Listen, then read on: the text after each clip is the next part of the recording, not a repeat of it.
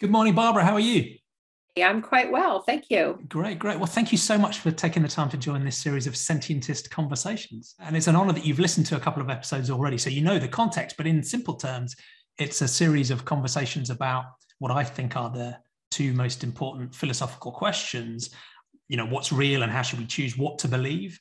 And secondly what matters and who matters who gets to matter morally and ethically? So there's sort of two central timeless questions. And then we go on to think about you know what the implications of those answers might be for making a better world. Um, and i'm i have a clear bias in these series because i'm trying to promote and develop this uh, idea of sentientism, which is a worldview I'd summarize as evidence, reason, and compassion for all sentient beings. So it's a combination of a, a naturalistic way of understanding the world, if you like, using evidence and reason.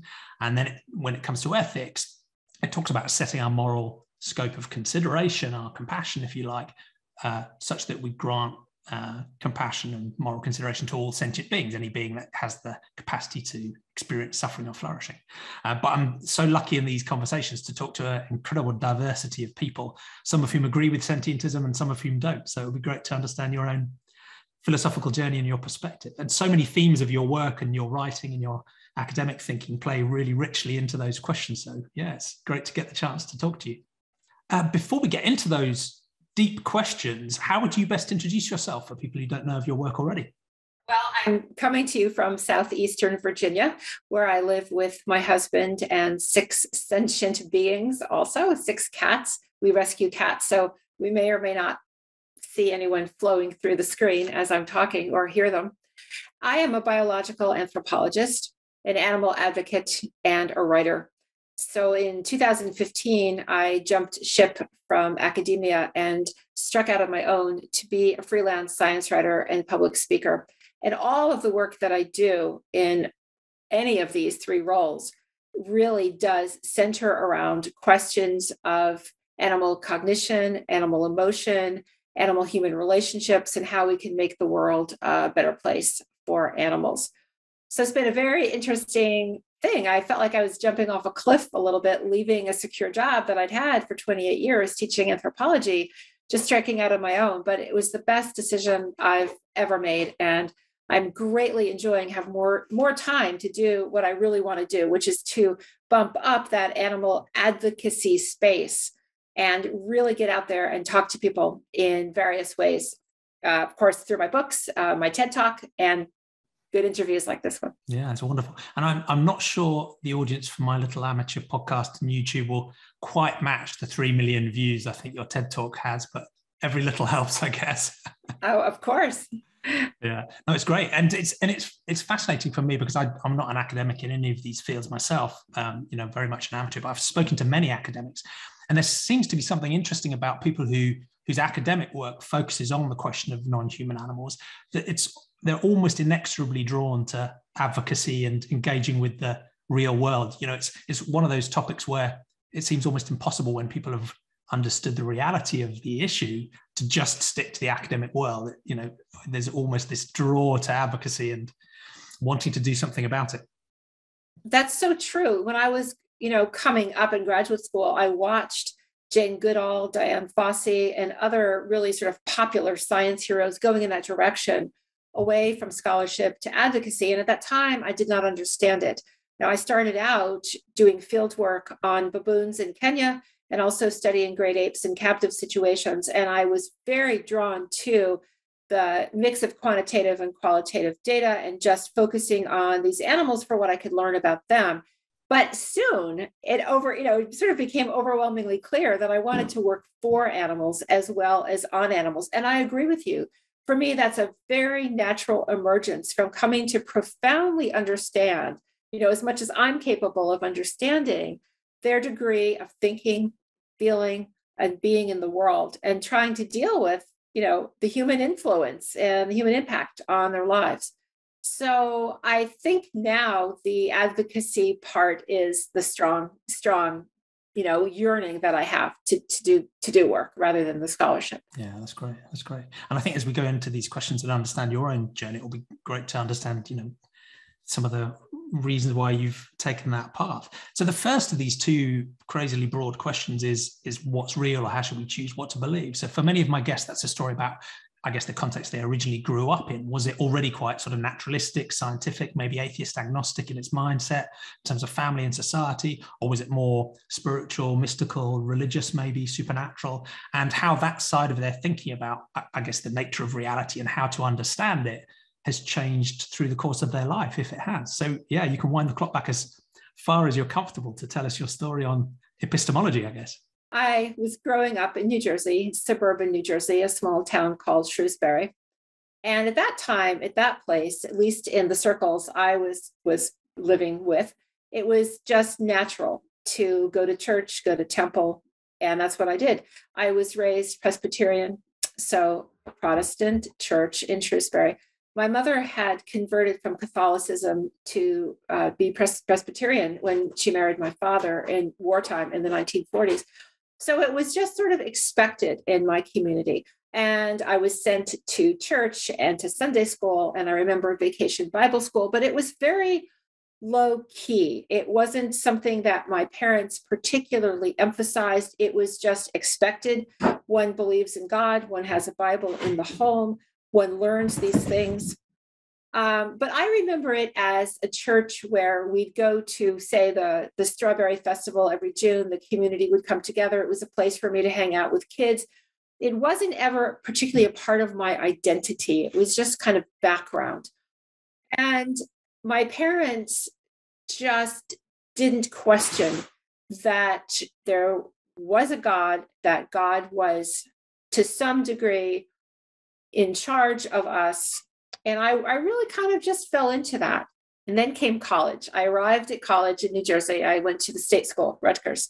My parents were very working class. They hadn't gone to college. This is the first person in the family to go to college. They were wonderful in seeding my life with books and music lessons, and they wanted college for me. But this was a very new experience for our family. And I arrived with my Bible. And, you know, like within two or three semesters, that was all kind of exploded. And I started taking theology classes and religion classes and pre med classes at that time before I discovered anthropology.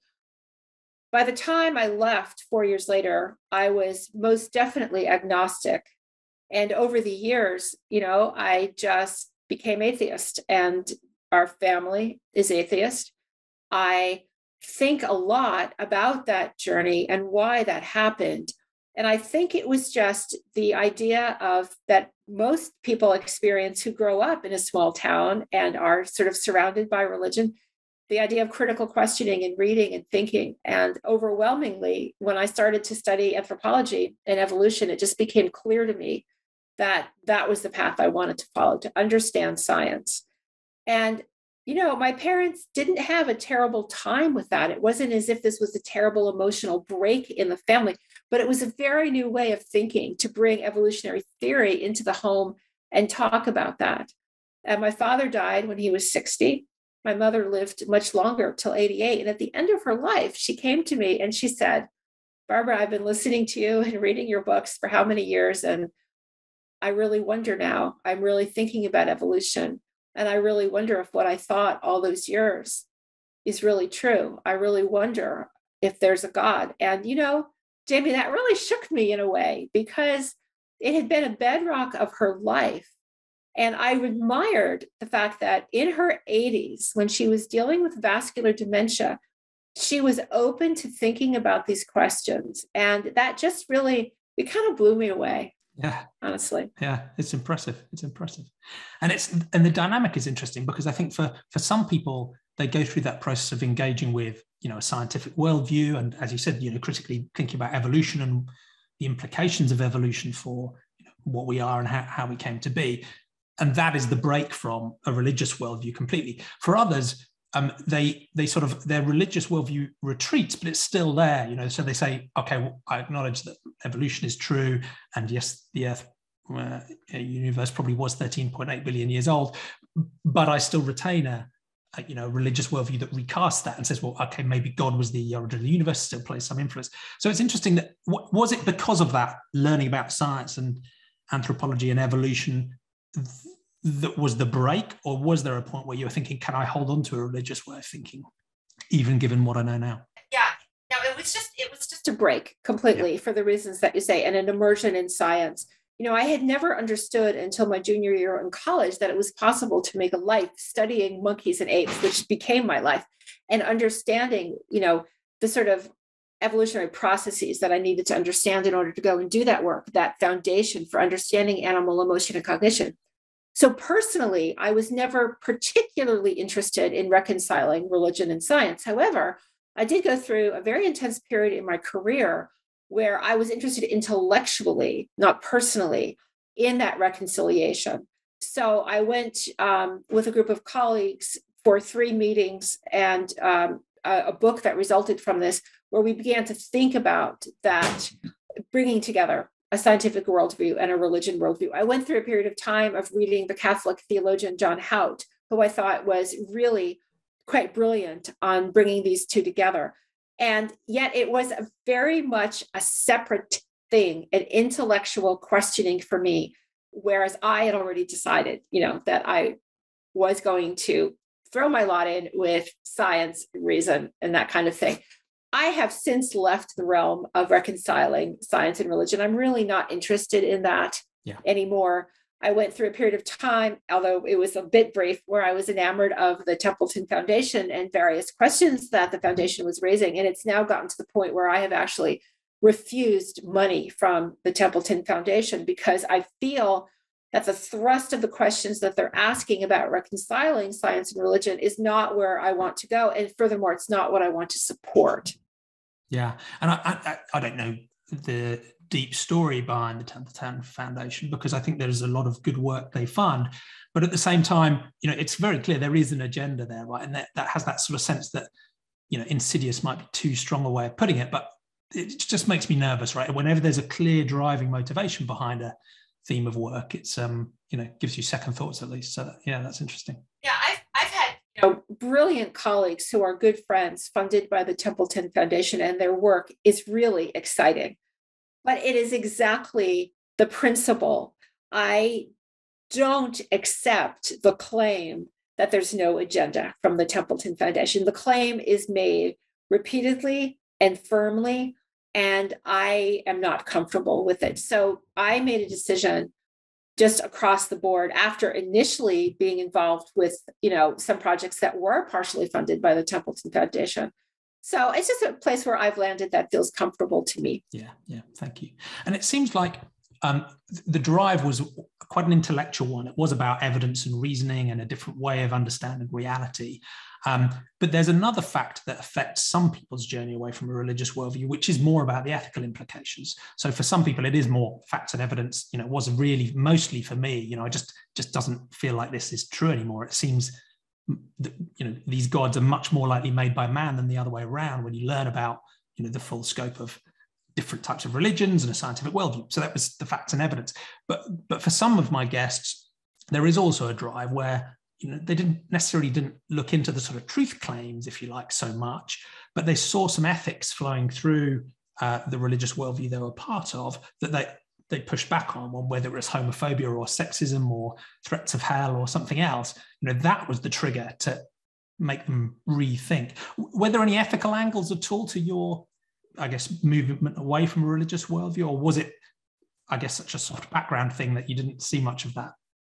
Oh, later, yes. I mean, to homophobia, sexism, and fears of hell, you can, of course, add the idea of human domination or dominion over the earth. And, you know, I'm far from a biblical scholar, but it's hard pressed for me to read um, that text or other religious texts in a way that sort of gets around the idea of a, an extreme hierarchy with you know humankind at the top and i know there are exceptions certainly in in the religious and i don't you know i can't really po- take that on comprehensively but just in my own christian tradition certainly um, that all of those things but they came later. I was definitely an evidence and evolution based break. And then as that break occurred and went on in time, and I thought more, the ethical implications kind of rained down on me. And I realized why I was even happier that I had made this break. But it, I can't claim that it was a sort of precipitating factor, that it, it, it wasn't, which is perhaps regrettable, but that's the fact of it. That's, that's, yeah. that's helpful. Thank you. And we'll come on to the ethical challenges in the second question in a moment.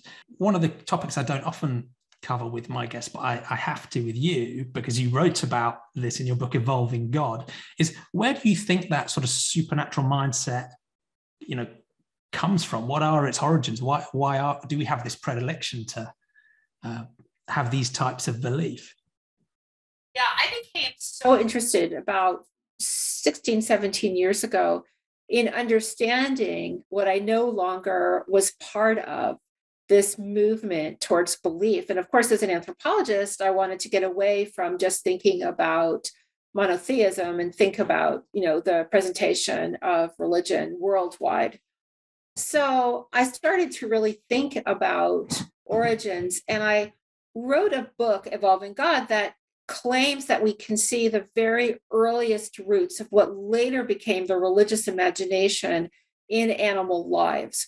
So, the very first thing to say is that I'm not part of the group of people who sees religious expression in animals. I'll come back to that in a minute, but rather the roots, the very earliest roots of what later became religious expression. So, for example, the idea that if we could take monkeys and apes as this sort of obvious um, evolutionary example, that here are animals who are clearly conscious, they are capable of imagination, imaginary, imagining things in their world. I, I could give examples.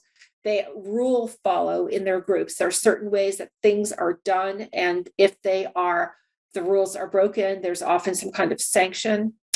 And there's also the capacity for empathy and perspective taking. And I think without these building blocks, what came later in human evolution would have looked very different. And I think that those enabled, in a sense, the ability for hominin and human minds to imagine other beings, other controlling beings, whether they be sky gods or other sorts of gods.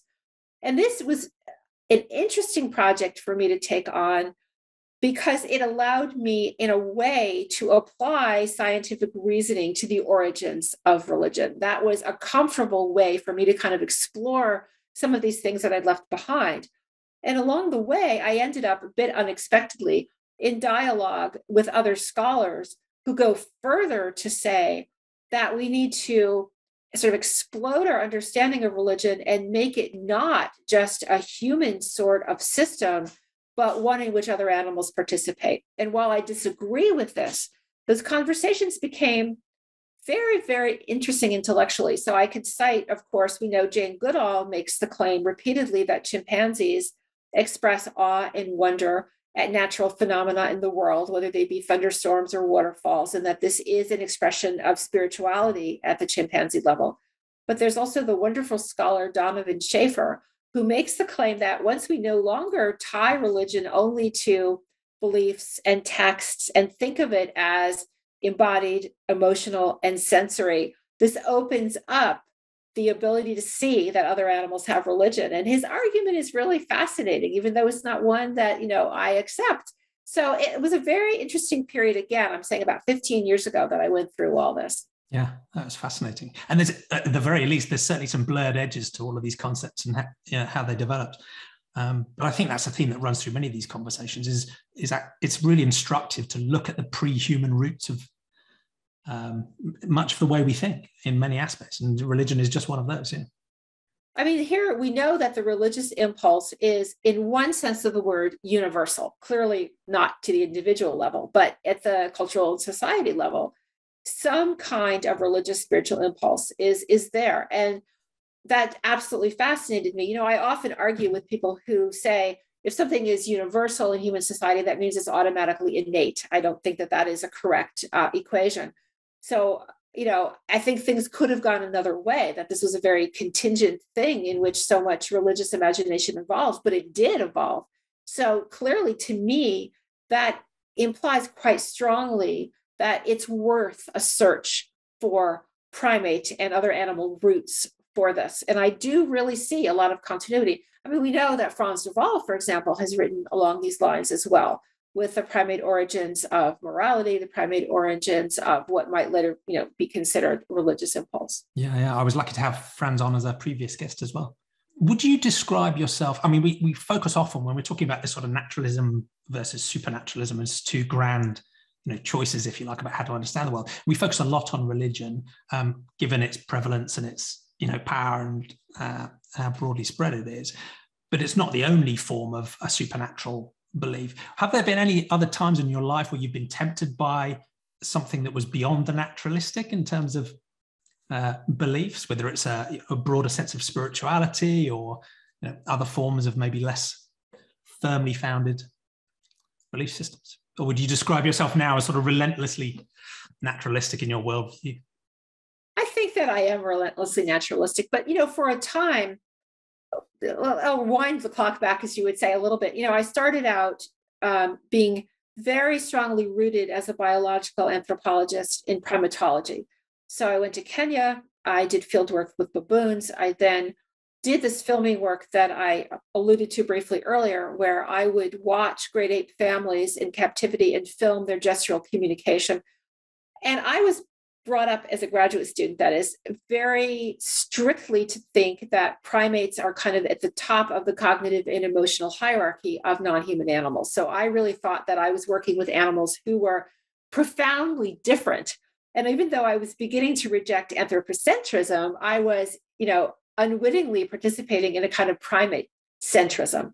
And then I began, you know, being in Amboseli, Kenya, and, and being uh, able to read and look more widely to read about orcas and elephants, other mammals. And gradually, you know, concentrically, my circles began to widen in understanding who is thinking, who is feeling, so that now I'm fascinated with the whole sort of range of animals. And I, you know, have a love for bison and octopus and spiders and, and think that they're all sentient and thinking and feeling. So the point in regards to your question is that at one point I became sort of overwhelmed with the awe and the wonder I was feeling in discovering all these things about a wider variety of animal lives. And I briefly flirted with the idea that this was a spiritual experience. And I, that didn't really resonate with me in the long run. I think that I do feel awe and I do feel wonder, but that it is very much a sense of connection with nature. I do feel that. I do feel the bigger than the human, but only at the level of the fact that you know nature is everywhere. We are part of nature. We are surrounded by profoundly cognitive and emotional beings not spirituality for me. Yeah. I, and i feel very much the same way. I think you know reality is more awesome and more wondrous than any fabrication frankly. It's um, reality is amazing enough.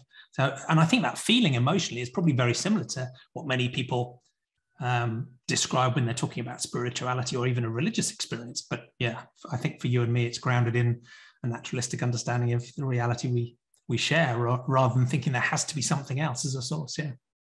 Yeah, I mean, there are times I can remember a couple of times, particularly when I'm overtaken with really an embodied sense of being part of the animals that I'm watching. It's very um, i mean i could even it was funny because on the tip of my tongue i was going to say it's otherworldly but the fact is that of course it really isn't. It's, it's our world.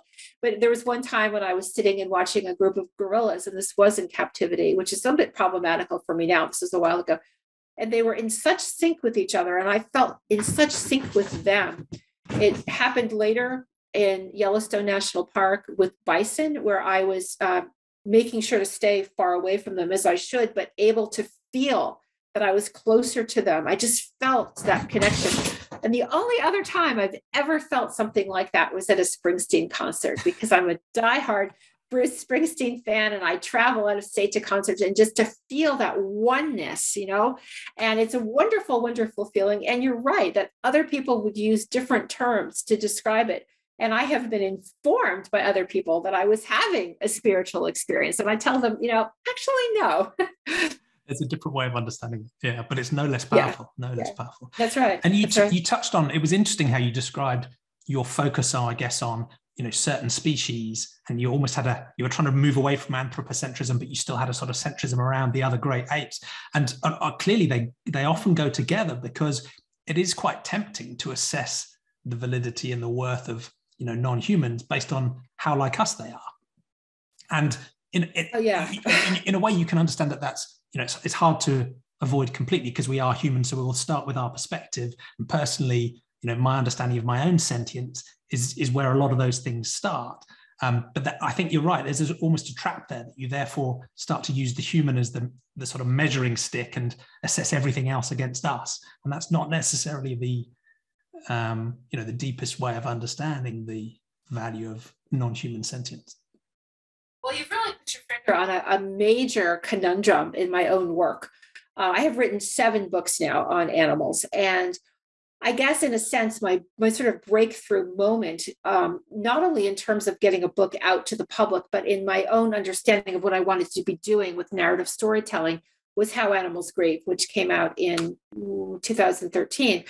And I was asking of myself, where can I find good evidence, really scientific evidence of the expression of grief in other animals?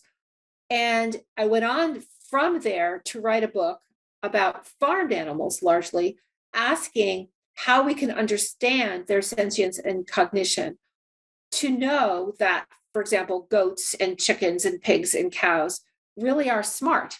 So I ended up, you know, reading a whole lot of experiments like goats can solve uh, a task box problem. They have to go through various steps to unleash a treat in a box, and they can remember this for a certain number of days. And chickens can remember faces and cat. And you know, in a way, it's all asking can animals do what we can do? And uh, in one way, that's important because it is a way of storytelling that reaches people. It gives them a way to see that we are not really as unique as we like to think. And the other sense, it's dangerous because we don't want to only define animal emotion and cognition in our own terms. So I have tried very consciously, and this is, I think, more evident in my new book, Animals Best Friends, to say we need to just try to look at animals and ask what they can do that we can't do. How, but how do we ask ourselves if we can't imagine a way of being in the world? And there's this is where uh, thinking about invertebrates has really helped me thinking about octopus, thinking about spiders. I mean, we know that octopus have distributed cognition, right? They have a brain, of course, but they also have these amazing eight arms along which all these neurons are distributed so that when they're exploring the world with their arms, they're thinking. And being able to to really think with octopus in a certain sense that they flash their moods on their skin with their chromatophores that when they're using their arms they're thinking it gets me out of that human box. I was able to meet some octopus behind the scenes at the New England Aquarium.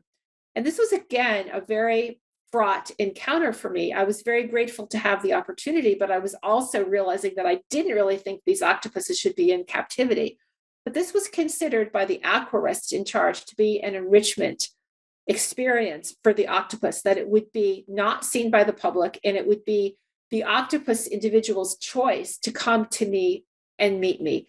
And this giant Pacific octopus named the professor did choose to come and wrap an arm around my arm, at which point I felt that here is an individual animal who is thinking with his arm about me, evaluating me with his arm. And, you know, just having that experience was really, really helpful for beginning to get away from that human standard. So that's an example where I'm trying to kind of push myself to do both things to meet people and say, look, you guys can do this, and so can a goat. But also to say, hey, none of us can do this, and this octopus can. And this is how amazing the world, the natural world is. It's a powerful balance, yeah.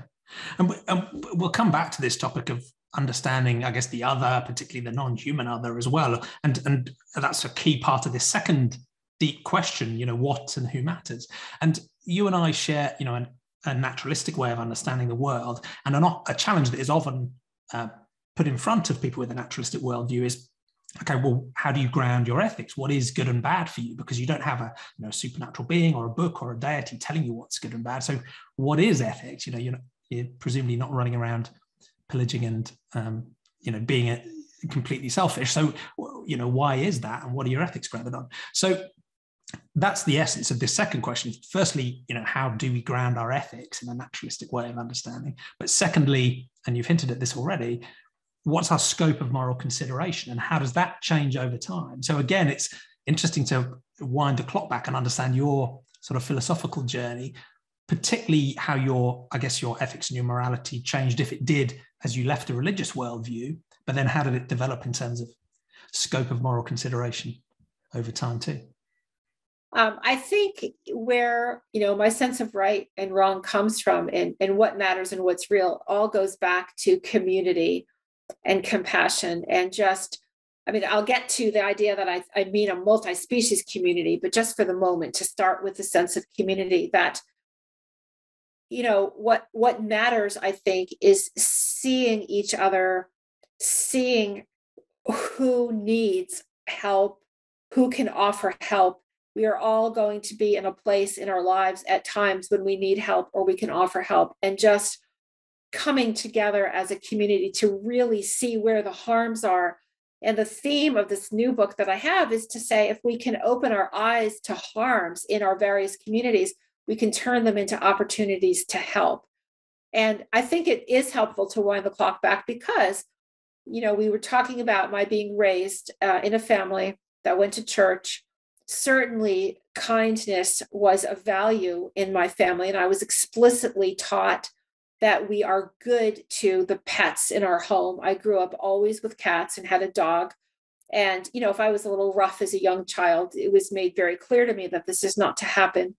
And, you know, we are kind to other children and, and all of this. And yet, looking back, of course, I realize that we were doing this while we, we were having a dinner conversation where we're passing around the chicken, the turkey, the meatloaf, and this was never problematized or questioned. We would have discussions about kindness to animals and then go to a, a, a trip, a day trip to the Bronx Zoo where we would see captive elephants and, you know, on and on. So this is not in any way to suggest that this is the fault of, of individuals like my parents in this family system. This was the 1960s, and it was again in the air.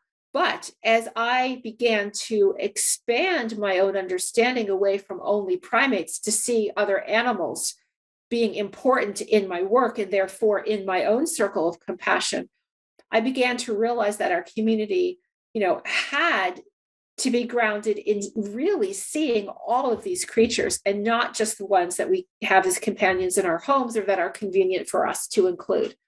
So that's one one part of the answer. And to go back to where where you and your family started from, you know that essentially is the default for nearly everybody.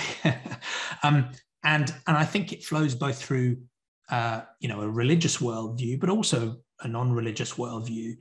And and it isn't without compassion for non-humans but it's driven by a sense of you know uh, humans are the ones that really matter.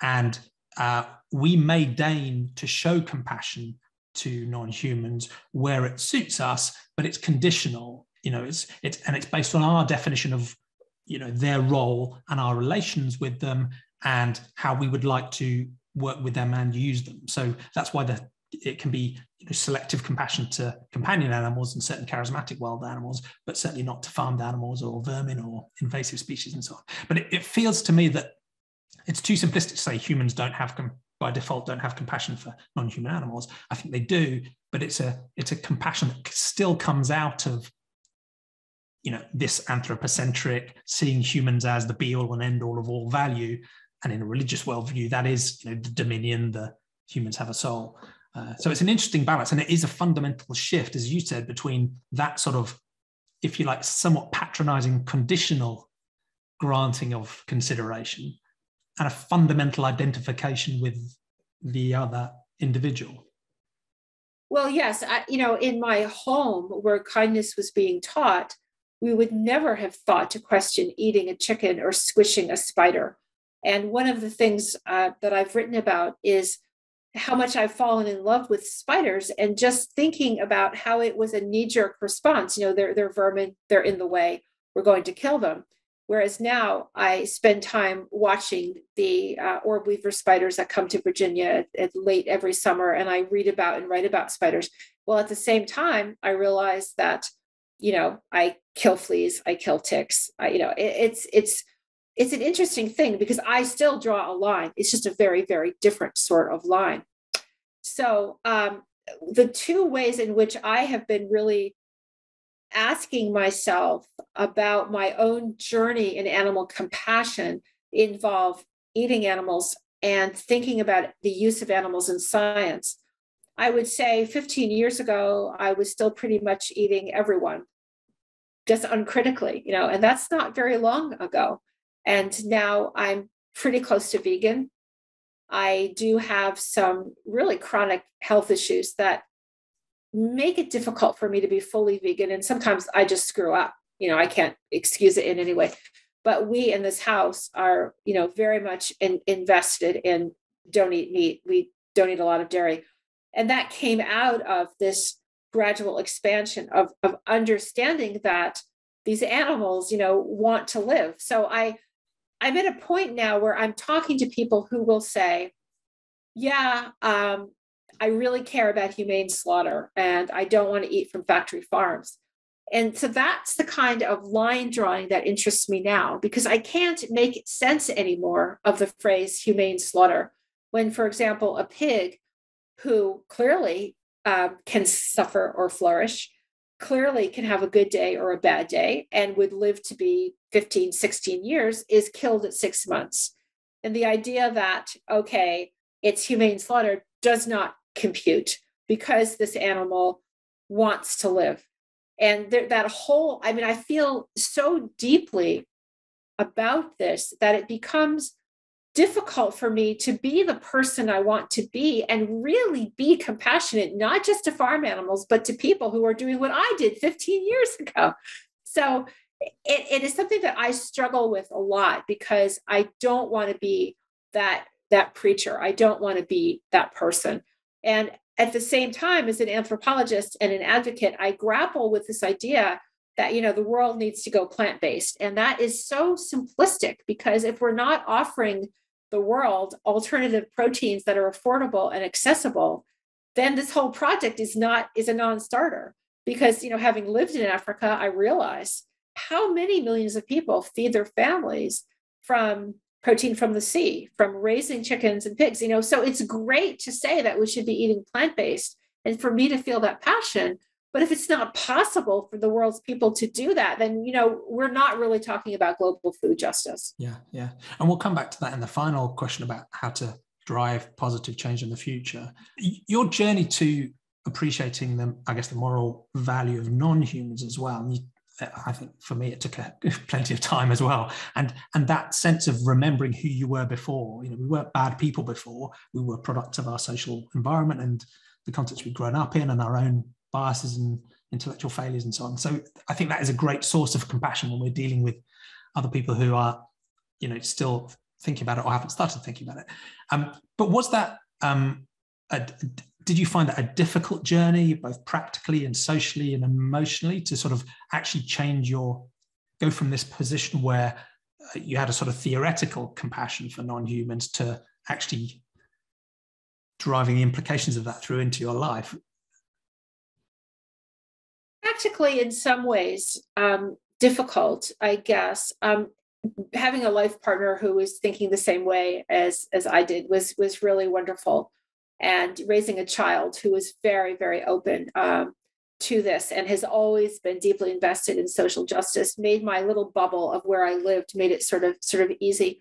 But you know, I have to admit, in the beginning, I did have a lot of food cravings that uh, were based on the fact that I'd been eating a certain way. I had certain comfort food. Chicken pot pie was my comfort food, you know. So, on a very small, I guess, non significant level, there were practical issues. The harder things are for me now in wanting to understand how people can't see the planetary crisis, the climate crisis, the animals suffering crisis, and all these other things and act. So I sometimes worry about what you were talking about the idea that this should be a source of compassion that we were not always the people we are today. But i often fail in that because i'm impatient you know? I think the, the animals are waiting right? And And so I try to write and speak with a great deal of humility because I screw up so often and I'm not always the advocate that animals need. And I'm fully aware that even eating the way I do is no panacea, that animals are still hurt by the fact that I eat vegetables. But but the, so the really the, the moral conundrum and the hardest part of this for me is just trying not to sort of grab people and say this is urgent, this is a crisis. And it doesn't matter that you do X, Y, and Z the way that I do, but if people aren't trying, aren't engaged, aren't in some way trying to change, you know, who they eat or helping others in some way, it just makes me a bit crazy. And that that's a problem though. I mean, I don't I'm not saying that's a great thing. It's not something that I admire in myself. Yeah. And it's and it, it is difficult because I think when once you've seen an issue like this from and you're on the other side of it and you look back, it's so obvious it's so obvious and it's so egregious. The harm is so egregious and so easy to stop that it's it does lead you very naturally and directly. And i can imagine advocates in you know many human social justice causes feel just the same way where it's like how can you not get this right? So it leads you naturally into that preaching strident moralizing you know tone. Um, and i guess that's the eternal difficulty is while i think that approach of advocacy does help drive some people. It's just not enough. It's just not fast enough. And for many people, it turns them off and it becomes this sort of polarizing, you know, in group, out group thing where you can actually push people away. So that's one of the eternal challenges that I think, you know, we'll come back to on the on the final question. Um, before we come off this question of moral scope, you you touched on the environmental crisis and and the climate challenges. And um, I think I share your frustration that you know this is just another line of argument that should lead us in the same direction. For example, against you know away from animal agriculture. But but there's I think there's a couple of reasons why that doesn't operate as effectively. And again, some of it comes back to this idea of moral scope. I think so. Some people will challenge a sentientist worldview and say, look, you're going too far. We need to just you know humans matter and that's it. That's the end of the ethical story in terms of scope and you and i would reject that clearly. Uh, on the basis there are you know maybe quadrillions of other beings that have a perspective and they can suffer and they can flourish and there's no rational reason to exclude them from moral consideration just as there's no rational reason why we would arbitrarily exclude a subgroup of humans from moral consideration either. So you know i think you and i will agree on that at least although most of the rest of the planet you know might differ. But some people challenge it and say look you haven't gone far enough. And one of the first times the word sentientism was used it was criticized for being discriminatory because it was coming from a, a, a biocentrist or an ecocentrist point of view saying you know what about the non-sentient beings or the non-sentient stuff like plants rocks rivers ecosystems habitats the earth as gaia? Um, how do you think about people who want to go beyond sentience in terms of granting moral consideration I'm often um, challenged by people who think that I neglect plants and that plants should be part of our moral scope. I don't disagree with that. I mean, certainly we know tree communication, uh, plant interconnectivity is very moving to me. And I do think that we must care clearly for the plants in our world. I mean, they are our oxygen, they're very important. I don't see an equivalence between plants and animals in the sense of their experience. And so, for me, because we can only do sort of so much in the world, I encourage other people to do what they will with plants, but it is not something that I feel in that deep sense is, is an urgency of care, certainly, but not an urgency in the universe of sentientism. So, you know, um, I'll try to make this brief and you can stop me if I'm off on a tangent, but I am challenged by people who say, you know, why aren't you working for humans when there's so much human suffering in the world? And my answer to that is that I think I am. I truly believe that because of the one health, just one health perspective of connectivity, that I am. So my my recent work has very heavily focused on working towards animal free biomedical science. owing to the cruelty of animals in laboratories, you know, not only the 75,000 monkeys that are in the United States laboratories, but all the right, the rats and mice, dogs, cats, ferrets, and so on. And when I say that the science of the future, very near future, is better science with animal free methods, I feel that I'm working for human health as much as I am against animal cruelty. And that argument parallels with almost anything I could think of with animals in agriculture, animals in zoos, you know, compassionate conservation instead of lethal management in the wild. So I just wanted to kind of get that in there. And I think I think that's a very, very important point for sentientism, that it's not excluding um, working for humans in any way. It's all of a piece. Yeah, humans are sentient beings too. Yeah, completely agree. And I, and I think that's one of the central things about this final question. You know, how, how can you make a better world?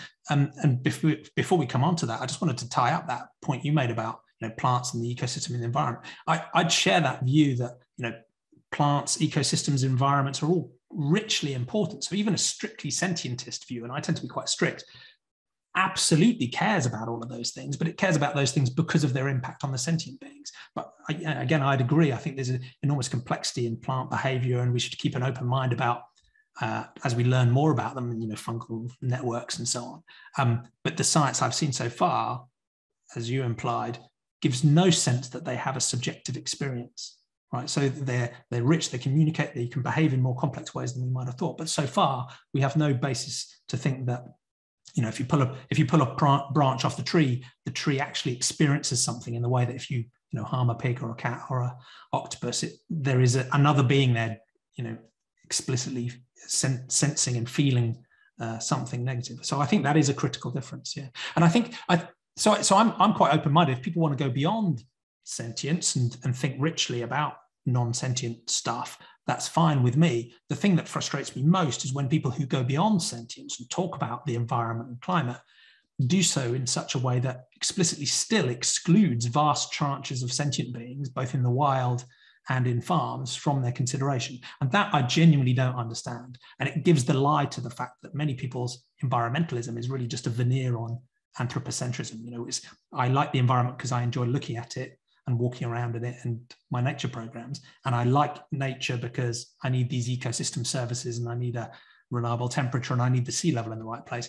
But again, all of those really draw back to human concerns. They're not really an extension of moral scope whatsoever. Whereas others, I think, who are thinking about One Health or are thinking about compassionate conservation, I think are, you know, share my concern for the wider environment, but it's grounded in the compassion for the sentient beings. And, you know, that's the ultimate motivation. But I, I just totally agree. And I, my, my work just this morning before we began to talk uh, has to do with, you know, really questioning the traditional conservation practice of lethal management where culling is a go-to strategy so often if in doubt that, if in doubt kill them all i mean it's yeah, amazing yeah, yeah yeah. Yeah there was just a, a, particularly egregious example came up this morning and i was writing with a, a newspaper reporter and we're going to try to make a move on something. But it, it is that example where you're, where you're saying that these are these are nature lovers saying you know i want to maintain this ecosystem and then they're you know taking um, high powered rifles and blowing away animals you know there's there's something wrong there. Yeah yeah for the good of the species for the good of the population level for the for the good of the the system but ignoring individuals. And i think that's one of the that's one of the other themes that flows through some of these conversations is and part of the reason i like to link this ethical question back to the epistemology because i think there are many um, you know supernatural or poorly founded beliefs that don't really have a negative impact but there are some that drive a really warped dangerous ethics. And one of those is where you put something as more important than sentient beings and the suffering and flourishing and life and death of sentient beings. So, in a religious context, that might be a god or a priesthood or something else. But in the environmental context, often it can be ecosystems, habitat, the systems, the earth as Gaia. And this superordinate thing is so important, it can justify causing enormous suffering and even death to you know, many sentient beings. Um, and that's that's a warping I think is deeply damaging. And I think that's partly why I like to link these two concepts is you know one a naturalistic understanding that means you recognize that most of those higher power things just don't really exist in a meaningful sense. But two making sure that you know sentient beings are the moral grounding of all the things we think about. But uh, Yeah, well said, Jamie. The final question, and you've hinted at it already, is how you know how can we make a, the world a better place, or even the universe a better place? So, I think we find ourselves in this odd situation where both you and I share a broadly naturalistic worldview. I think we broadly share a sort of sentiocentric compassion that we care about beings that have the capacity to suffer and flourish. But most of the 7.8 billion people on the planet disagree with us uh, on one or both to some degree. Um, so, um, how do you feel about you know our prospects for a better future for all sentient beings in that context? It depends on the day you ask me. Um, you know, I heard the other day. I wish I could remember where someone say, "I'm an activist. I don't have the luxury of uh, proceeding without hope."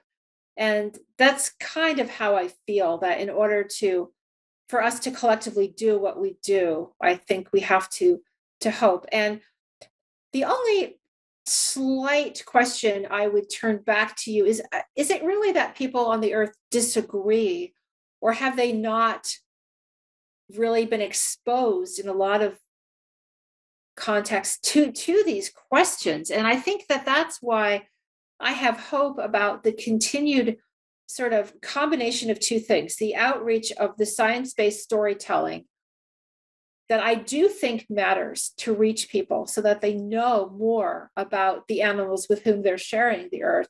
And secondly, these really practical changes that collectively so many people are working on plant based foods, cultured or cellular meat. I, I'm a fan of all tools in the toolbox for whatever alternative proteins we can get out to the world. And I think that if we can focus particularly on animal agriculture and ride this wave, there's so much fascination among younger people all around the world with being able to escape cruelty when we eat. I do think there's hope there so that the, the world, thinking of the future of food and a vision of, of the world, you know, maybe I'm not so much thinking it's we're all going to be vegan as that this idea of being reducetarian, Brian Kateman's term, reducetarian, where we're significantly trying to cut back in big ways on eating meat, seafood, and dairy, can really make a difference.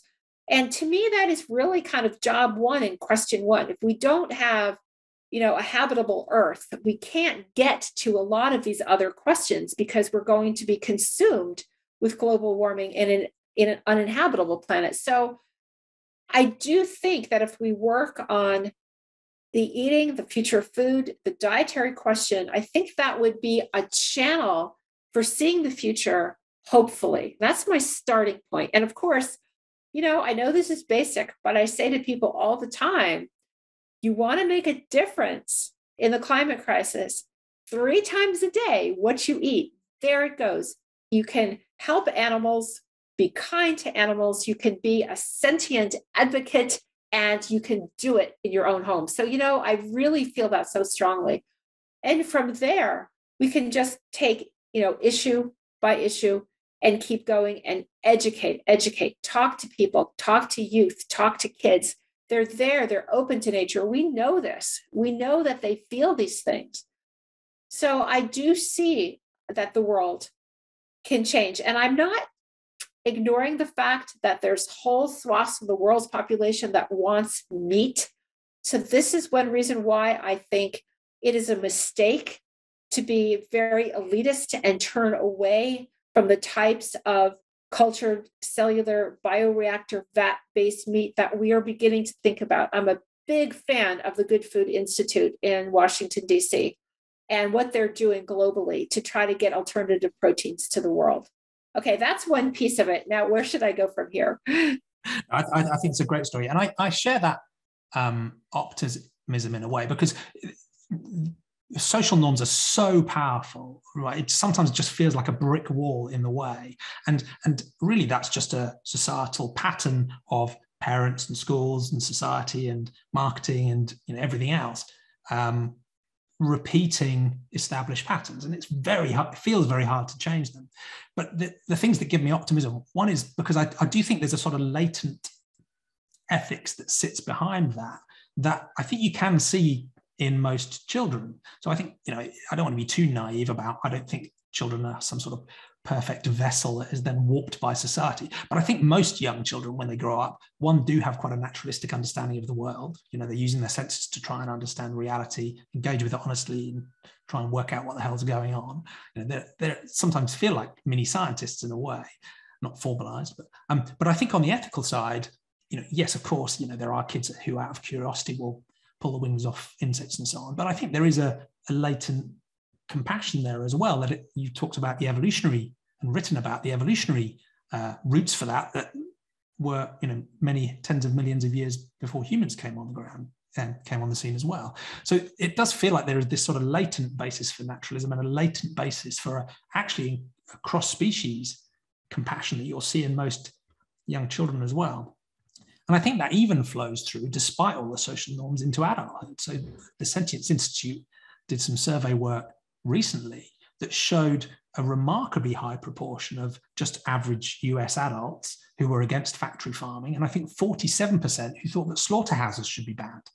Now, how, many of them had carried through the implications of what that would mean, you know, is a diff- different question. But there is a, a latent ethic there that I think, in their hearts of hearts, many more billions of people agree with this sentiocentric compassion than carry it through into their daily lives.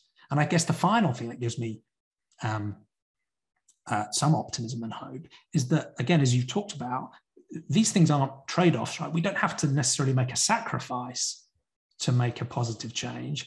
These changes are good for us too. You know, there are often win win wins for humans, non humans, and the environment, certainly in animal agriculture.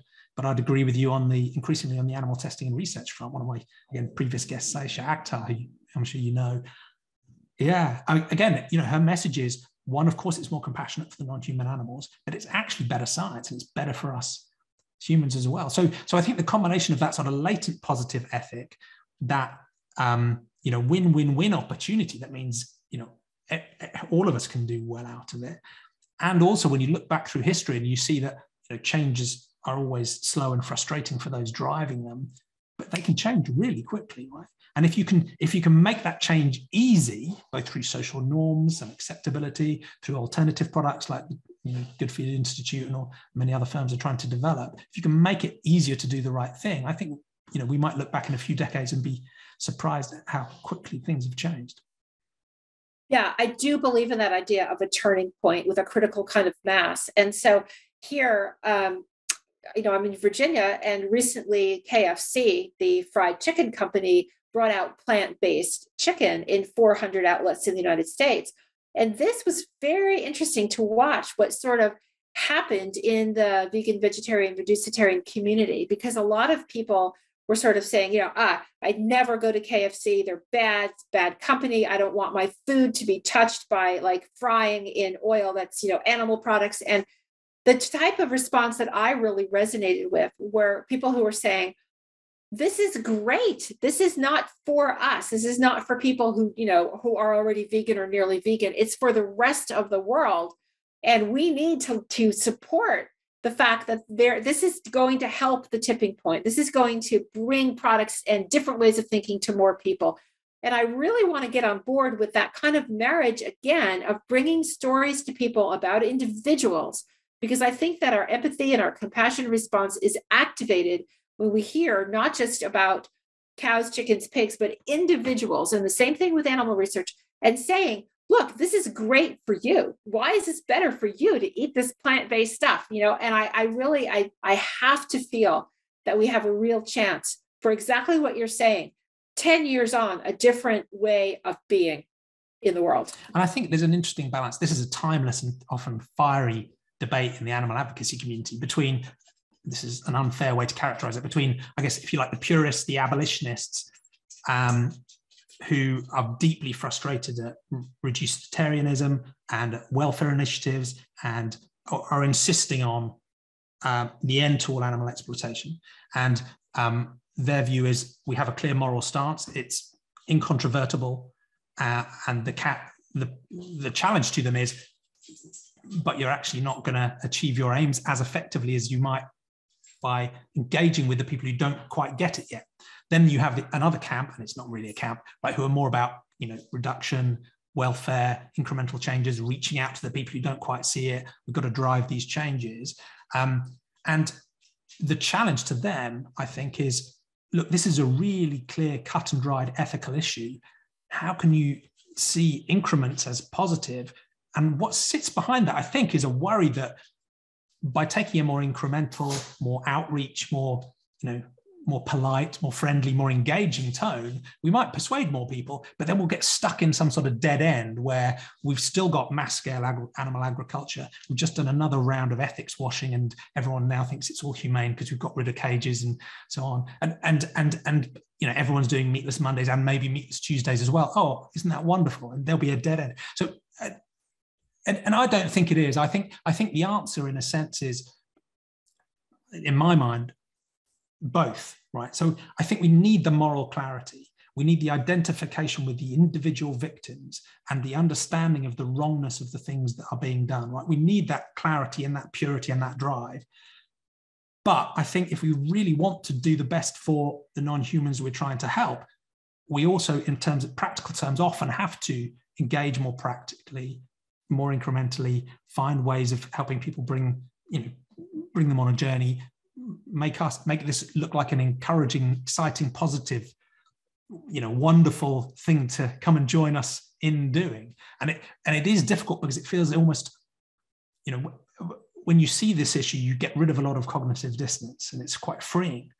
But it almost feels that as an advocate you almost need to take on that deliberate cognitive dissonance because it feels like you need to sort of park that moral purity thing in your mind it has to stay there because that's the ultimate goal but you've got to find more constructive ways of engaging. And it's like you say, it's really hard to do. And you know, my snarkiness on Twitter, you know, will will always escape sometimes. and well, I also think if I could add one thing, I think it's very contextual because when it comes to animals in laboratories, I am done with welfarism.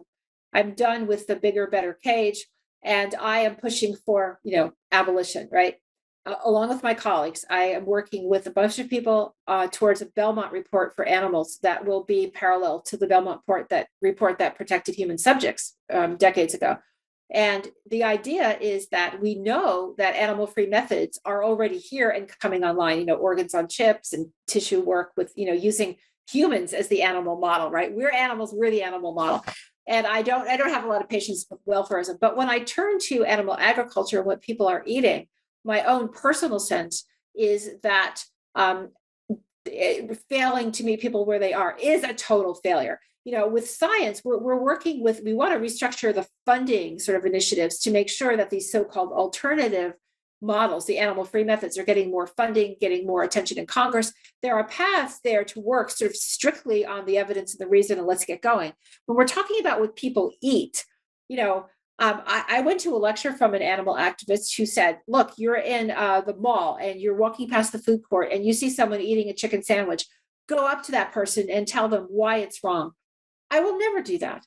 That's just not going to work, in my view. That doesn't mean that I'm content with incremental steps, but it means that the way that I am going to reach out is by saying, first of all, there's fantastic plant based foods that is going to make this not a sacrifice at all, but to really say, like if you're not just doing meatless monday but if you're really working to reduce that's a tremendous contribution. I admire it. I'm impressed with it. And i refuse to be worried about 100% you know it, wanting 100% from every individual i meet because that is not going to work. Yeah. And I, I also think things will change over time because the more people disconnect from these systems, realize they can do it and free themselves from it, it becomes much easier to adopt a moral stance. It's so hard to condemn something when you're habitually you know a participant in that so i think over time you probably will see a shift from people cutting down reducing and and shifting in a way but then it, it will actually become you know the social norms will shift around and people will start to look at what remains and go is that really justifiable anymore and i think you'll see a maybe a, a, little bit more purity and clarity coming in as the social norms shift. Um, and the other reason I think um, it's important to think particularly intelligently about the, the food and diet aspect of this, partly, you know, its scale is one obvious reason to focus on it, but one reason for some sensitivity is partly because it's so richly infused into cultural and traditional meanings for many people. Um, that's not a reason to stop it, but it just means we need to change our tactics and our communication to help people understand where we're going. But also, and you touched on this, when you think globally, there are many communities where they frankly don't just don't really have a viable alternative at the moment. Um, so for us, so for us to sort of pile in with a simplistic assumption based on me living in London, who has you know a supermarket that can deliver you know a breathtaking array of um, you know amazing plants, fruits, and vegetables, and all the alternatives I want as well. That just isn't the case for billions of people around the world. So I don't think that shifts the our appreciation for the harms that are being done and are the non-human victims that are being impacted. Nothing mitigates that. But in thinking about how to change that pattern, you've got to think about you know viable transition paths and ideally just transition paths that make it you know easier and practical and give you know human communities around the world many various and different ways of coming to a less harmful you know way of thriving themselves. Um, and that needs some real sensitivity.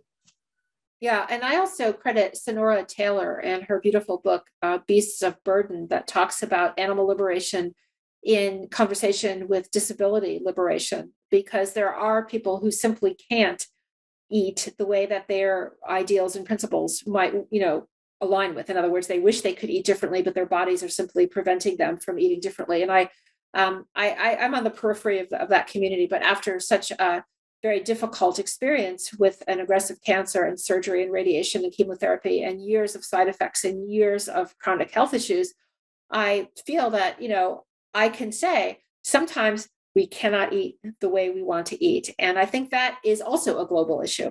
So that this is the one reason why you know, I try to be very careful when I walk through that mall court, which I don't actually do, but were I to do that and see someone eating chicken, uh, you know, you you can't always know. It is a harm that you're seeing, but also, you know, what harm have you done that day and why? So it really is a, a compelling thing to say we are grounding our ethics in compassion. So let's try to really be comprehensive and not forget the compassion of dealing with other people with whom you know, we just don't know what they're living through. Yeah, yeah, thank you. Um, and, I guess a, a final question. Um, we focused understandably on, I guess, the non-human world, uh, given its neglected, given its scale, given it's pretty obvious to you and me, you know, the types of things we need to do to, to fix it. How do you think the non-human problems we've talked about relate to intrahuman ethics as well? Do you think there's a, a, conflict or a challenge there? Do you think there's a synergy? Um, how, do you think the two relate? As we said, you know, humans are sentient beings too, and we have many problems within our own species to deal with.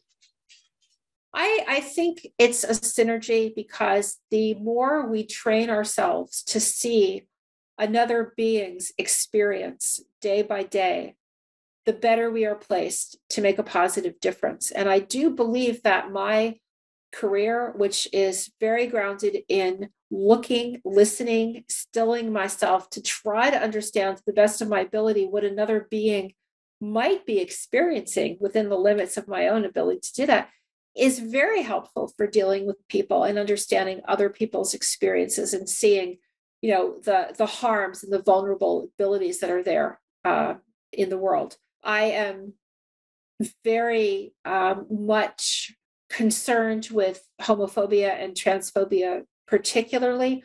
I happen to live in a, a very you know southern united states conservative community where the kind of citizen generated perspective is that we're a wonderful place to live we're a loving community well we're also a community that became famous because a high school student tried to have the right to use the bathroom that is you know consonant with his gender he was assigned female at birth, uh, but Gavin Grimm, this is very famous um, young teenager uh, who really changed the United States in terms of thinking about access of high school kids to their bathroom.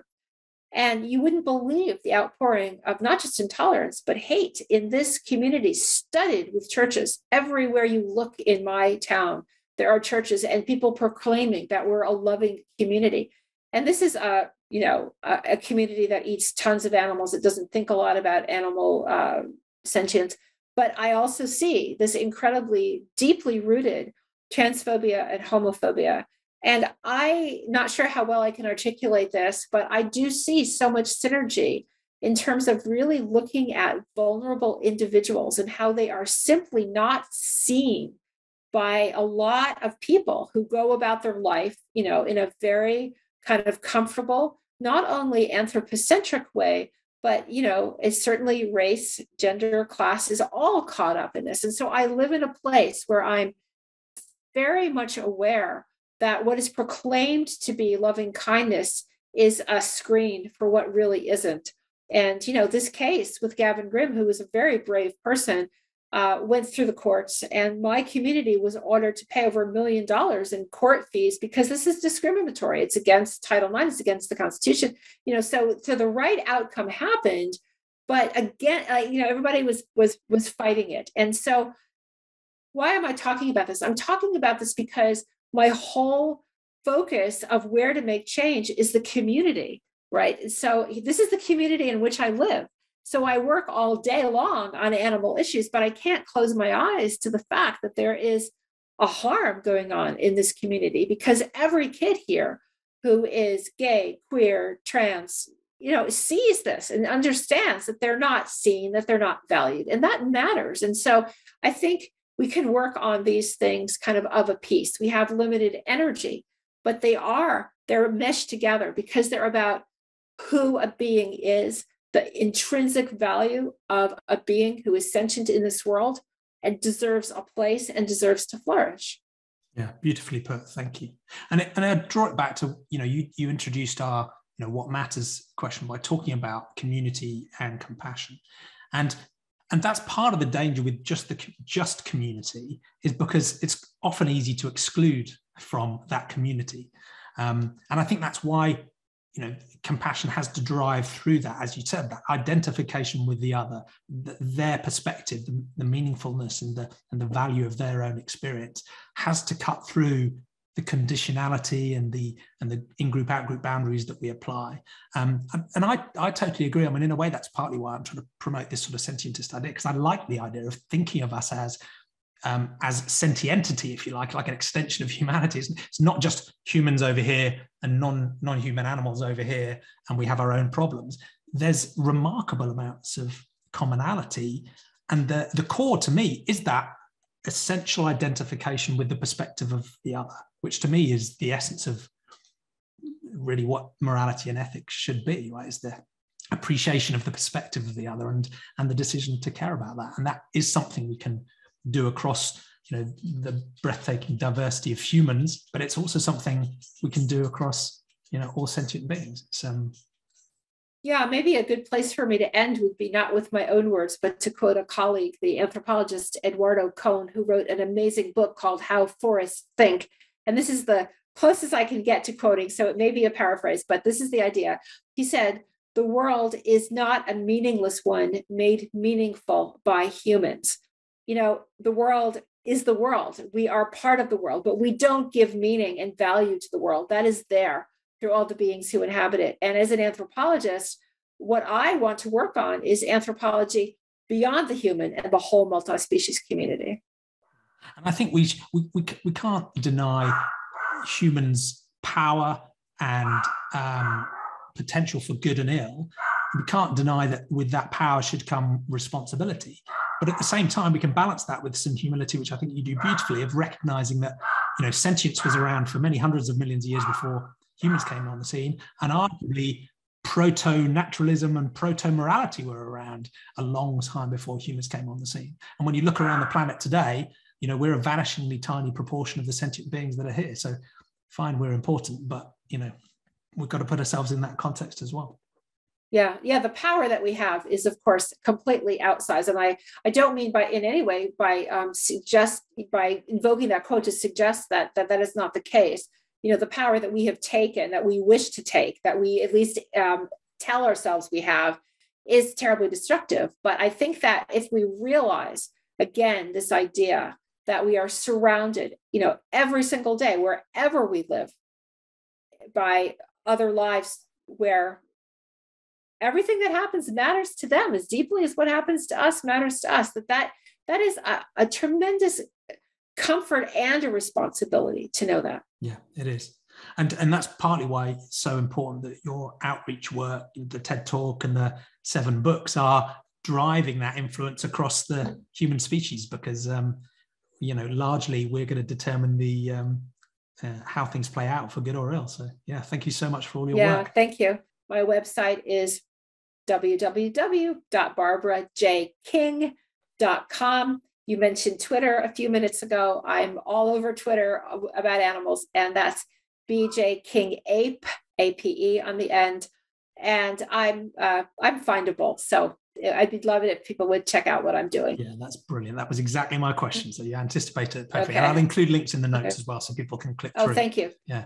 Thank you for such a great conversation, Jamie. I enjoyed it. It's been a real inspiration, a pleasure to talk to you. Stay thank in you. touch. Okay, I will do so. Okay. Thanks, Barbara.